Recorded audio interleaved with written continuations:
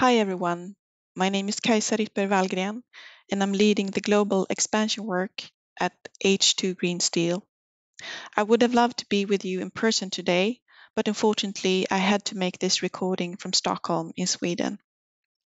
I will take you through our journey so far as a company at H2 Green Steel and more specifically talk about some of the de-risking measures we take for project delivery in our first project in Boden, close to the Arctic Circle in Sweden.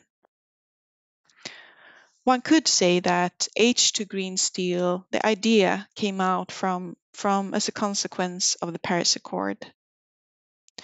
We all signed up for staying below 1.5 degrees Celsius Uh, in, in temperature increase. And in order to do that, we have to address hard to abate sectors. Sectors that are difficult to directly electrify. It was clear that when some of the frontrunners in terms of, of committing to science-based targets as a consequence of the Paris Accord, it was clear to them that in order to address scope 3 emissions, they had to go for steel. That's where they had the biggest emission factor. But when they turned to the steel industry, the answer they got in terms of when could they get green steel was 2035, 2040, or even beyond that. At the same time, it was a Swedish company, uh, a consortium, that had proven in a pilot scale that it's possible to produce iron with a significantly lower CO2 emission if you use green hydrogen. So our founders figure that the world doesn't need another pilot. It needs commercial large scale and it needs it now. So our purpose as a company is to decarbonize hard to abate industries and we start with steel, but that's not where we stop. Our intention is not to become the biggest steel company in the world, but it is to accelerate the transition and we do that by using green hydrogen to industrial uses. Why we start with steel is one part of it is that technology is ready, as I mentioned, but also it has a huge potential in terms of impact. The steel industry accounts for about 8% of global CO2 emissions, 30% of industrial emissions.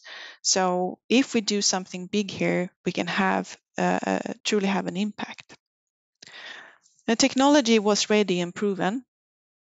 Um, and if we compare to traditional steelmaking, where you have a blast furnace emitting huge amount of CO2 uh, emissions because of, of, of, reducing agent that you use cooking coal rather than uh, uh, less uh, emission intensive type of, of um, agent, you emit about two tons CO2 per ton of steel.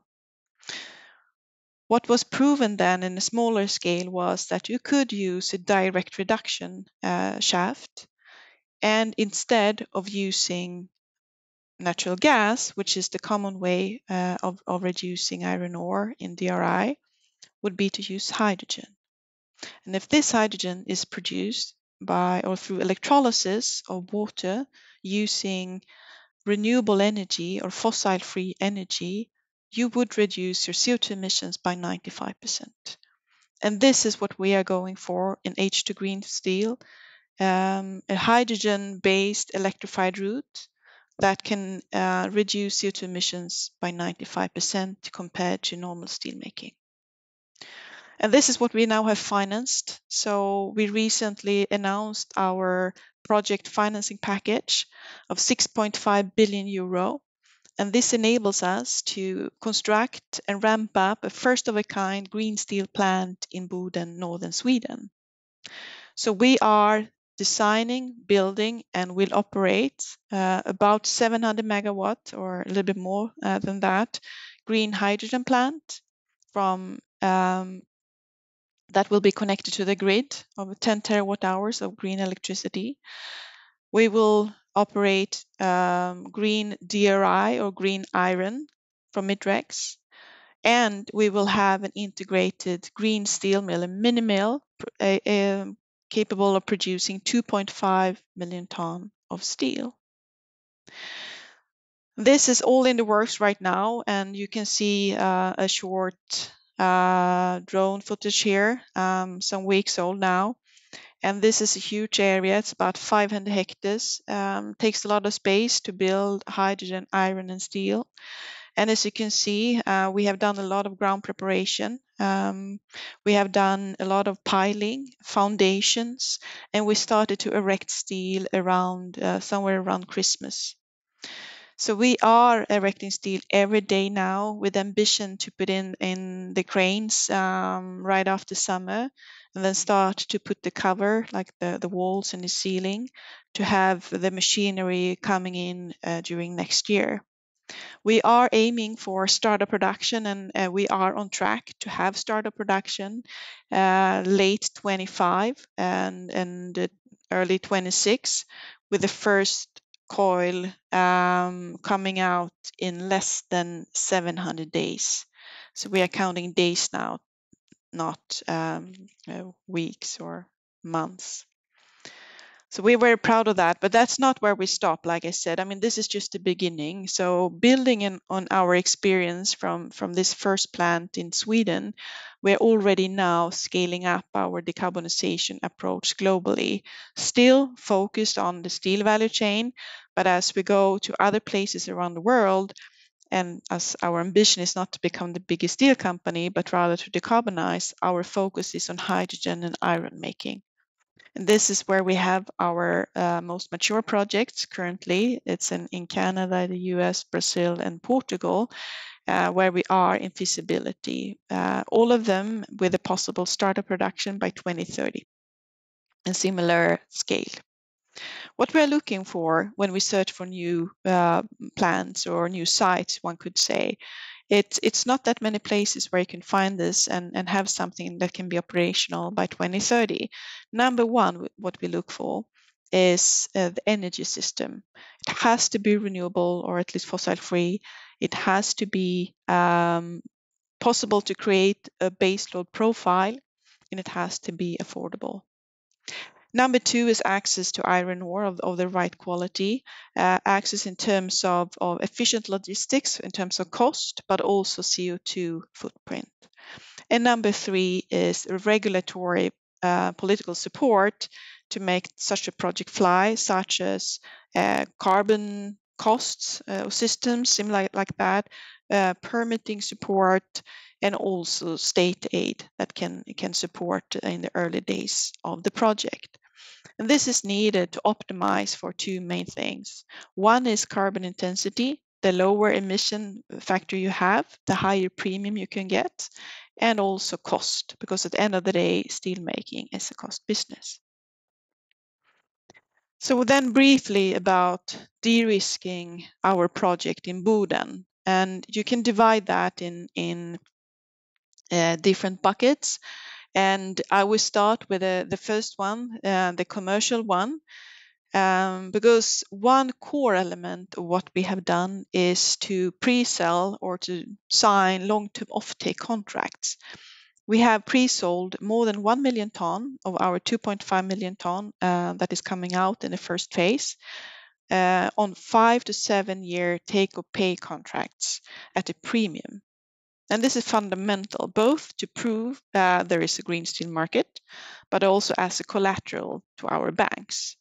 And what is common for all of, of the, the names you see here is that they have signed up for science-based targets. In terms of technology, what I want to mention is that the importance of using proven technology. We are not innovating in the technology per se. That would not be bankable for us. We have to use proven technologies. On hydrogen is uh, alkaline from Nucera. On DRI, it's Midrex, and on the steel mill is SMS Group. All of them reputable, strong companies providing technology. And another dimension on the technical side is also they have to sign up for uh, performance guarantees that our lenders and, and equity holders buy into and understand and trust.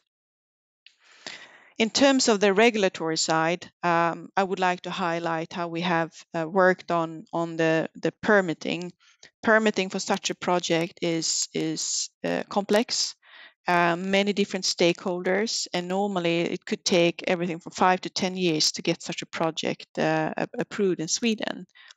But by working uh, with environmental friendly design, meaning, for instance, circulation of water, zero discharge, um, how we encapsulate dust, how we work with noise, and all of this has helped um, the, the ones assessing our case to make a quicker decision.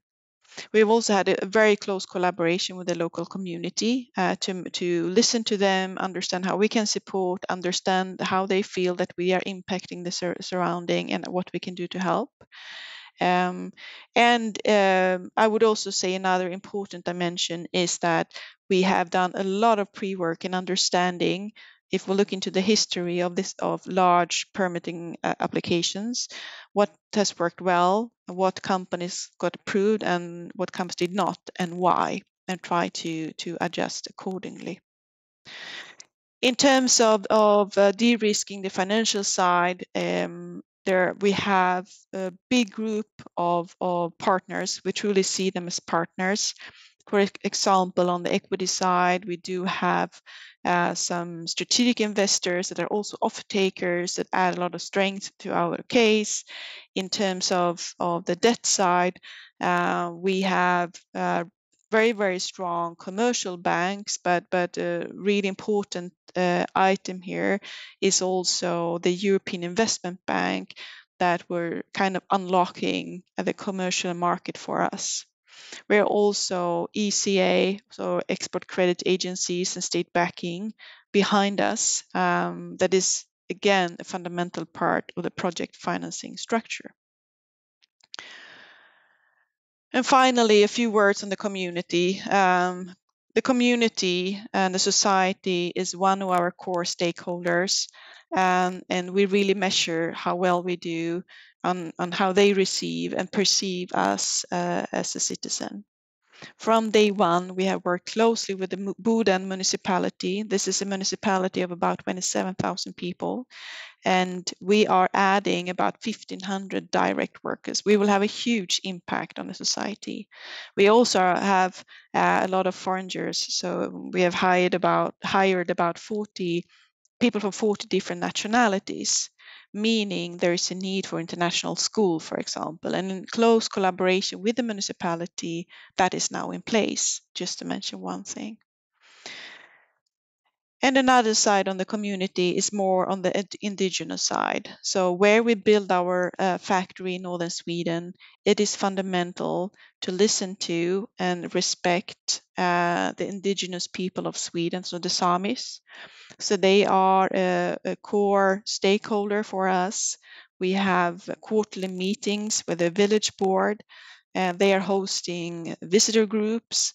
Uh, we have arrangements for for how should we act when we build new roads or what would happen if a train would for instance hit a reindeer which is uh, one of the main professions they have um, to take care of the reindeers. So all of this is in very close collaboration with indigenous and and to respect them is a is, is extremely important for us so to conclude, um, H2 Green Steel's purpose is to decarbonize hard to abate sectors. We start with steel and we start with Boden, but that's not where we stop. We are scaling up globally uh, with projects in, in four different countries right now. I also want to highlight that uh, Australia is uh, a key runner up, you could say. We have followed the activities for more than a year now, and uh, it is looking promising. So it's definitely a country that we will focus on more the coming months. To de-risk a project like this that we do in Boden, you have to to work in in many different uh, or on many different levers. The commercial side with the long-term contracts that are truly binding. On the technical side, proven technologies, um, and uh, with strong performance guarantees. You have the regulatory side with the permitting, for example. You have the financial side with partnerships across uh, the value chain and a mix of debt, equity, and public funding, coupled with green credit guarantees. Uh, and of course, with the community, with very close collaboration, both with uh, the municipality and the indigenous people uh, of the region.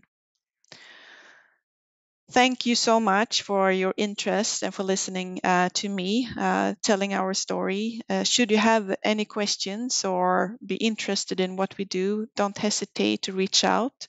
Uh, you can find me on, on LinkedIn, for example. And um, really looking forward to, to coming to Australia soon and, and meet you in person. Thank you so much.